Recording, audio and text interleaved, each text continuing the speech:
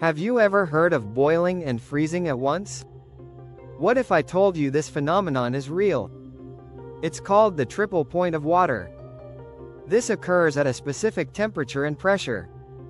At this point, water exists in all three states, solid, liquid, and gas.